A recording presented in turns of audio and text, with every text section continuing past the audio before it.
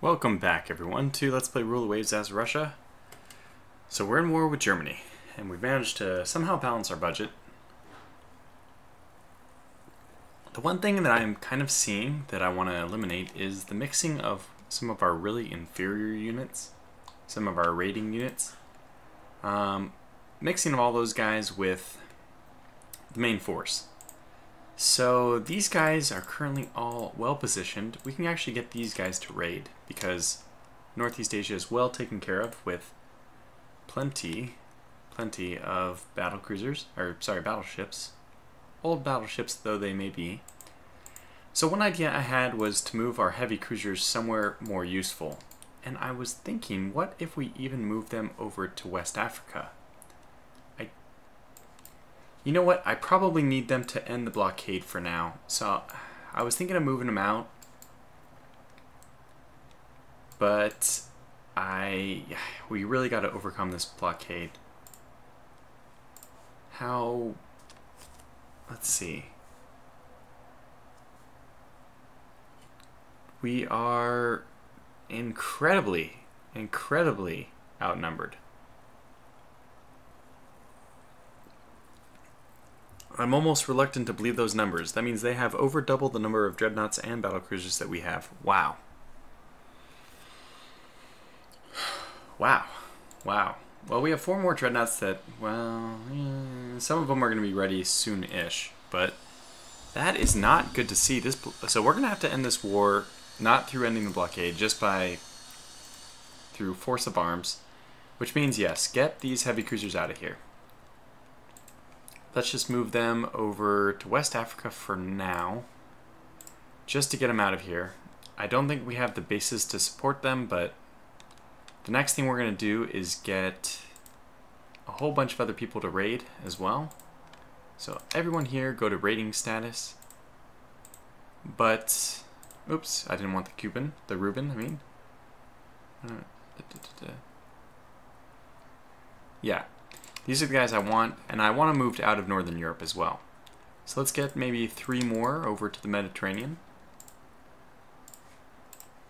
Um, let's get a whole, let's get a, a contingency over to Southeast Asia. It's a bit far away, but I know the Germans have some stuff there.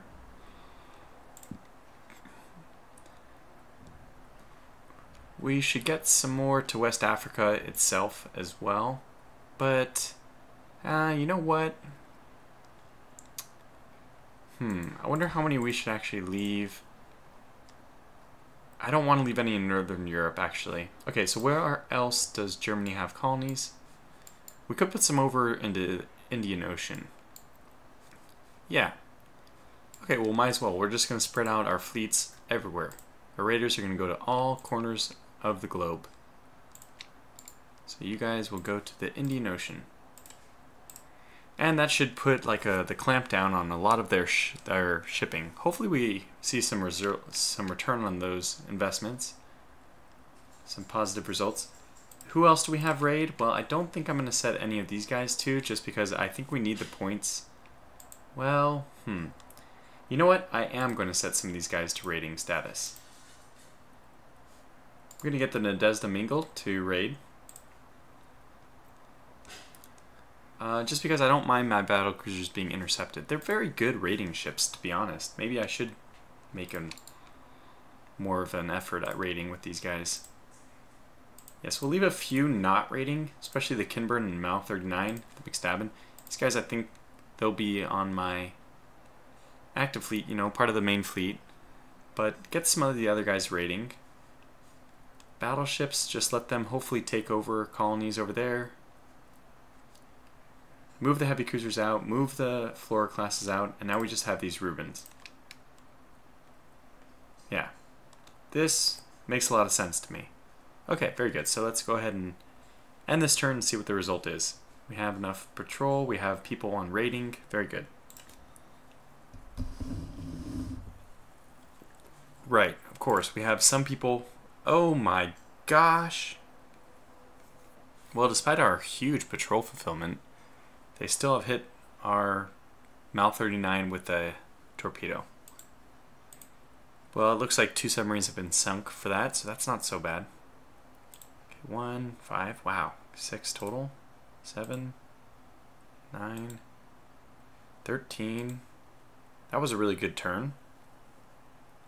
Okay, let's fight this one, because I think we have a better chance of escaping. Whoa. Apparently it is very foggy out. Cloudy? Overcast? Mist. Well, if we're going to run into them in this kind of weather, hopefully we can get out.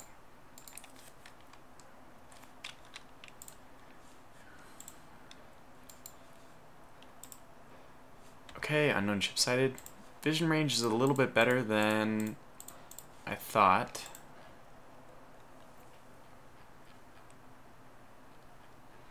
It is such a coincidence that they found us way over here. Now, wind is down. We'll just kind of do this, I think. That appears to have been the right decision.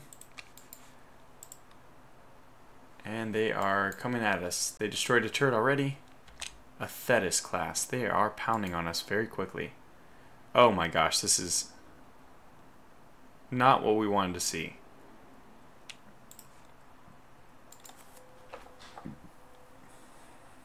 Huh.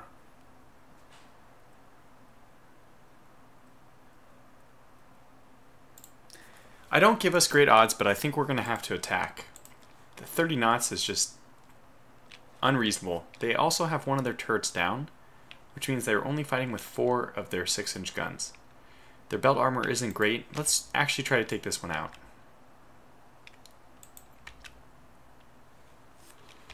It is not going well to begin with. But there we go. We're finally starting to return some fire.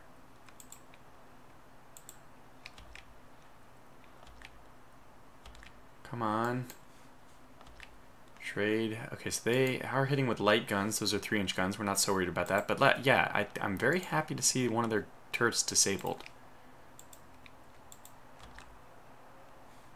Okay, deck extended. We are hitting sometimes.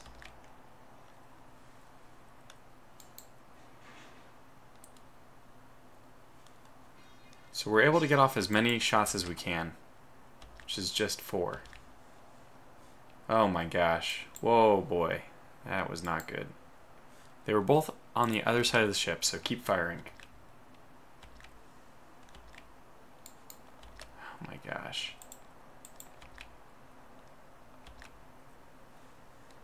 Alright, deploy smoke. Get out.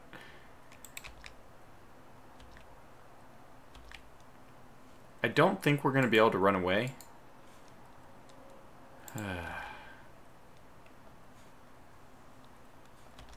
Man, I guess our six-inch guns just don't have the explosive firepower the British, uh, the, sorry, the Germans do because I think we've hit them. Like if we compare,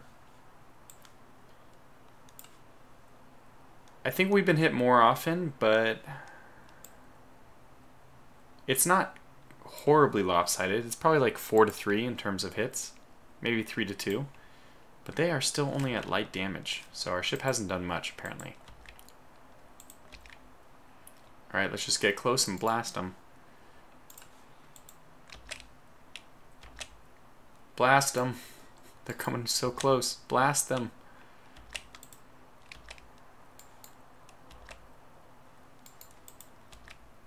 I don't have the faintest idea what they're trying to do.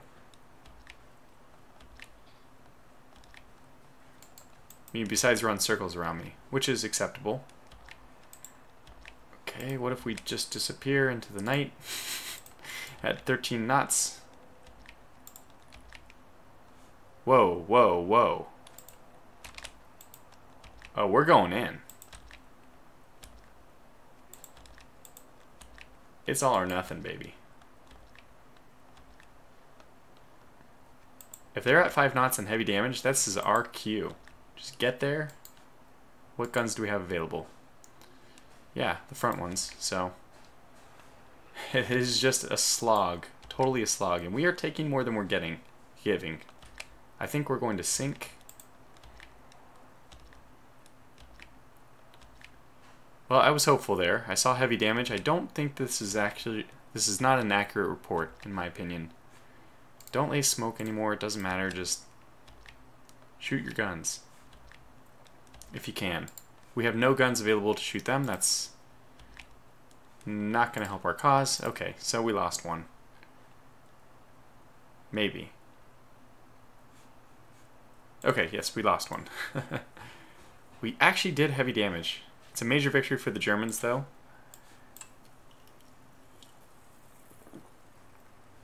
This is, as always, the difference. Heavy damage is just insignificant compared to doing uh, sinking, but that's okay. I didn't expect we'd win that one. It's going to give them a big jump. They're blockading us, though. What I mean, what are you going to do, right?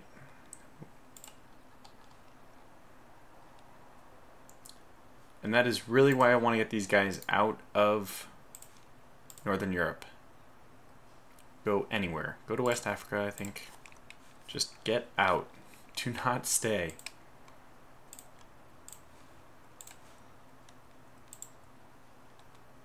Okay, make them a national hero. This hardly seems relevant at this point in time.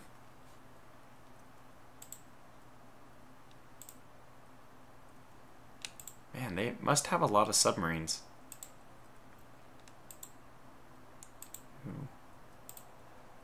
Okay, cruiser action. This has to be my battle cruisers. It's... The hell? I thought I got my heavy cruisers out of there. I didn't check. Uh, I'm going to have to force them to retreat. Again, well, this is not good. Okay. the amount of things that can go wrong, they are all happening. Okay, it's going to be night soon. We're just going to just flee immediately, which means we have some old Bernie classes who are just going to, I'm sorry, but they are going to perish. In a blazing whatever of glory.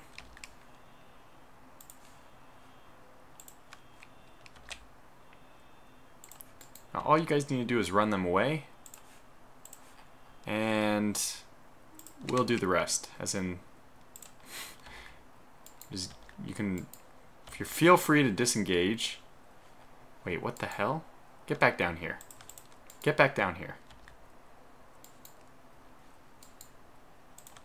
God, they, have very accurate weapons.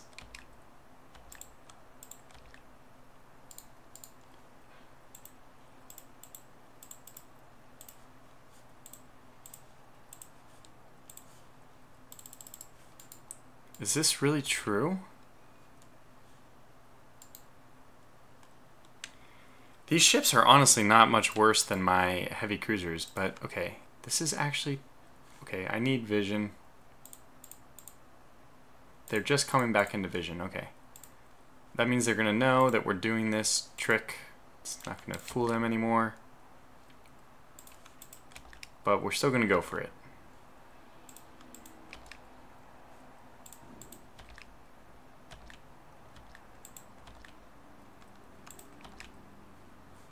Okay. Go.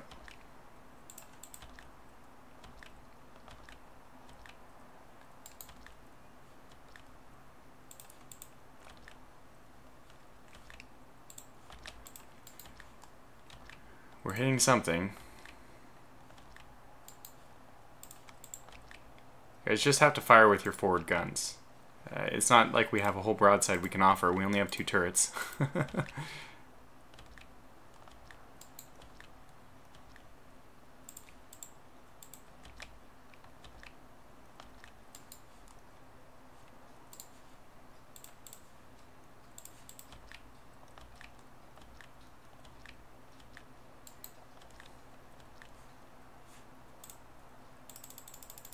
I don't really care about the injured guy. Just go and try to claim these ships.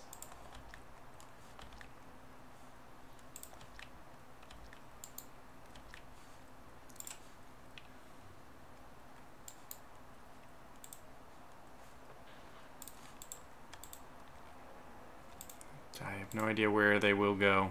Oh, they can head to home port. Well, that's not good.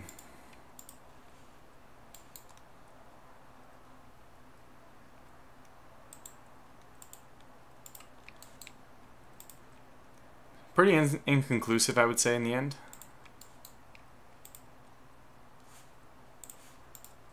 Oh. just as I turned us off squad max.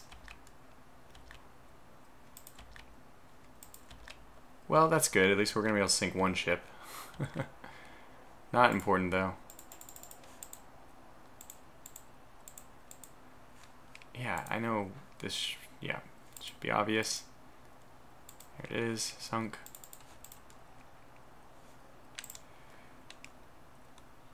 Jeez, man.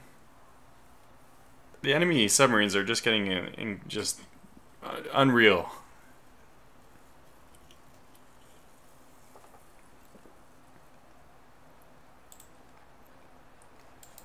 They, it does look like they went into port, though. So we didn't have a chance of engaging them anyway. Yeah, well, what is that one? A victory? A loss? A marginal victory for them. Hmm. Okay, now let me get these darn heavy cruisers the hell out of here. Go away. Just go away. Go anywhere, I don't care, just go away. We will fight them on. Okay, they were blocked again.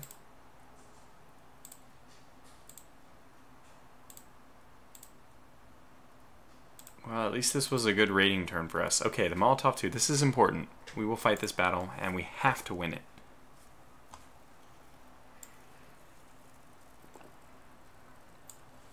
I'm almost sure it's another battle cruiser, but if it's a comparable battle cruiser, we're going to fight it. I mean, we have to. The wind will be on our side, not that it really matters for these oil ships.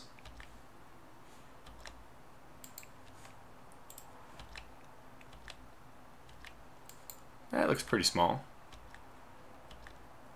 I'm sure we would have a good vision of it, considering we are we're head on and they're broadside on.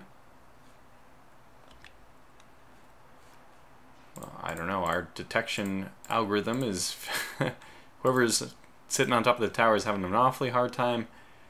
Wow, that ship suddenly grew to about three times the size. I, I, they added in recently that if it's an unidentified ship, you can't tell the size at all. This doesn't seem realistic, man. The moment you see a ship, you can have a general feel for if it's a something that's a minesweeper or something that's a dreadnought. You have some gauge, right? Which is probably what this should be, instead of just your guesstimate as to what it is. Yeah, this should maybe should occur almost instantly. It's very rare that you see a ship, especially one that can fire at you, that uh, you don't know more or less the size of it. Anyways, we'll just engage our Molotovs. Wow, that's good. We'll wait for the... Ooh, two hits. Okay, they hit us. We hit them. How are we doing? 10% damage, that's pretty high. They are launching heavy guns at us. I don't know what they are. Okay, there we go. Goeben class. What are we dealing with? We can sink this.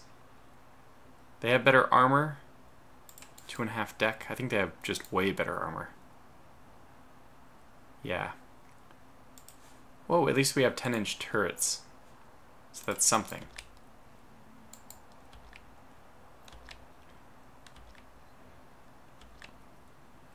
Oh my gosh, how are they so freaking accurate?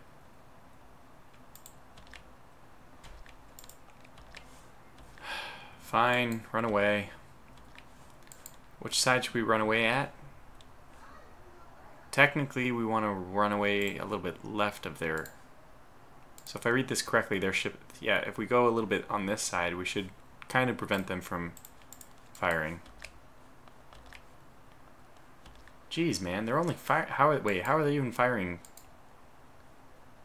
Yeah, they only have two uh, guns they can fire, and this should put us at an advantage because we're able to fire our full five guns behind us. So this is good. We will chase. We will let them chase. I mean.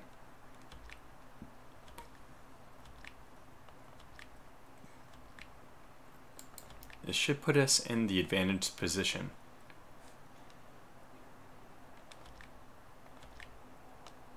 It's 11 inch versus 11 inch, huh?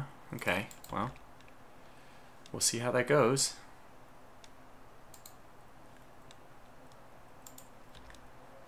we have turrets too, man. We have turrets, and they have casemate six inch. Ah, well, it's okay.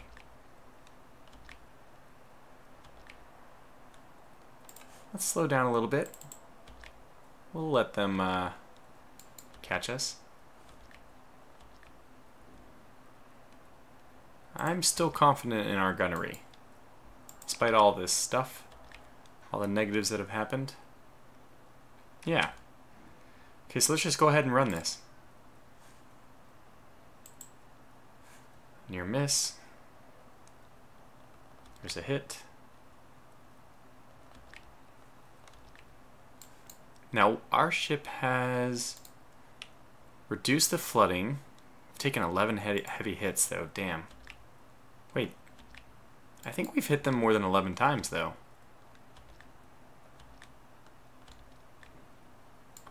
Oh, oh that's a 5-inch hit, though. Another one. Another one.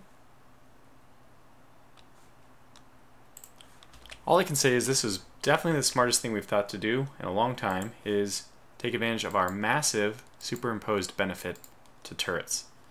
So getting the five um, 11 inch guns on them and they're only able to train their two forward guns on us. This is perfect.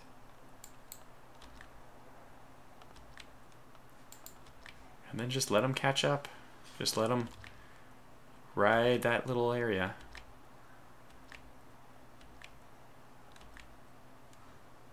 Another hit. Okay, deck. It did not hit us though. We have pretty good deck and we're so close that I doubt we would be able to be penetrated. Let's take a look. We're 13,300 and we imagine a deck penetration of something like 1.8 around there and we have 2 inches of deck so let's let them close a little bit more though because we would prefer I think we would prefer to be closer to them.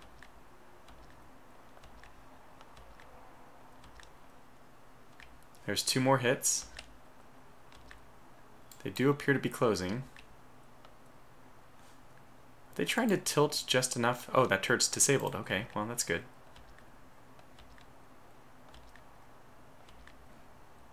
They're firing one heavy gun.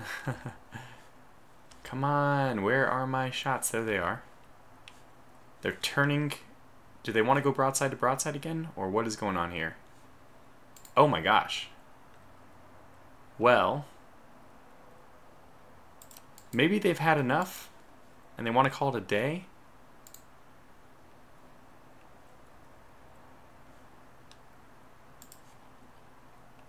Let's find out. Okay, Squad Max, go. Now it's our turn. We're going to get our whole broadside off. This should be better. They're going to run away, it looks like, so we should have... Come on, go faster. We should be better than them. Close. Okay, if we're only going to use our front guns, let's just use it correctly. Head on, then. And in a moment, I probably should check to see our ammo situation as well. If we start running out of um, forward guns, we're going to have to... Oh no, we've been being chased the whole time, so this is actually perfect. We're now using up our forward ammo after using up all our rear ammo. Okay, they're coming to. We will choose to engage. Uh, this is big if we can pull this one off. The Molotov 2 will be a hero. I think we're doing it. No, no, no, no, you don't.